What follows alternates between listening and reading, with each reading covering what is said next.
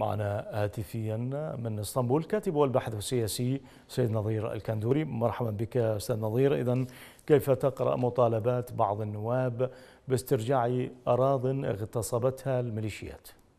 حياكم الله حيا مشاهدي قناتكم الكريمة، حقيقة يعني المطالبات التي يقوم بها بعض نواب السنة في موضوع تجاوز الوقف الشيعي على أراضي تابعة للوقف السني يعني آه هذا يندرج في يعني أقل الإيمان يعني فقط المطالبة. وإلا فهم طالبوا يعني قبل فترات آه سابقة أيضا بنفس هذا المطلب ولم يجدوا آذان صاغية لا من يعني السلطات التنفيذية كرئاسة الوزراء ولا حتى من السلطات التشريعية مثل البرلمان.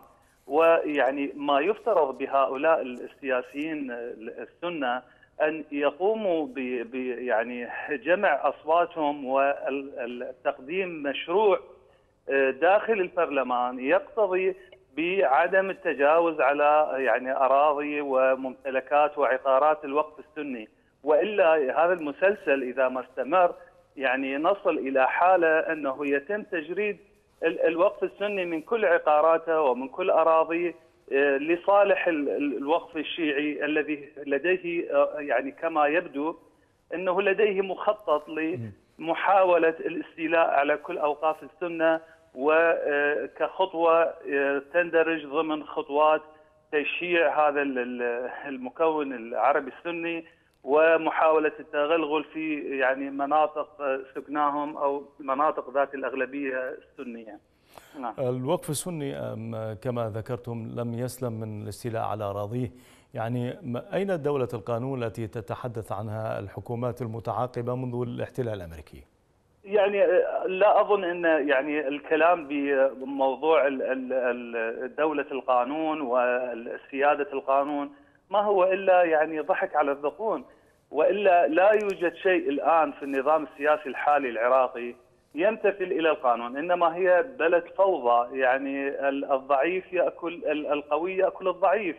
هذا واقع الحال يعني الكتل السياسية القوية التي لديها ميليشيات ولديها يعني دعم أجنبي هي من تسيطر على البلاد وهي من تتصرف وكأنما هي خارج يعني سيطرة القانون ولا ينطبق القانون عليها.